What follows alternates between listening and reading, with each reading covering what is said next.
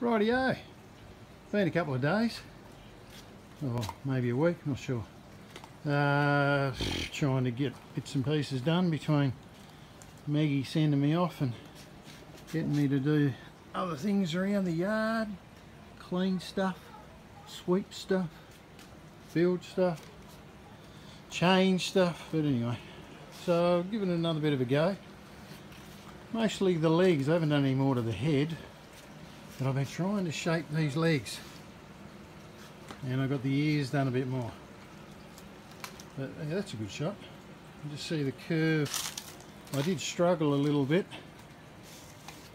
because oh how to shape that back leg because uh, you can't really tell but that part's sort of not there but I'm up alright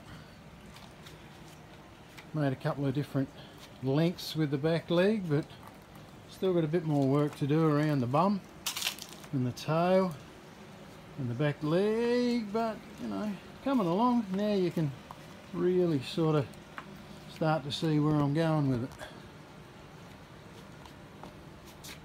Still got to shape that head a little bit. Nice and big but a little disproportionate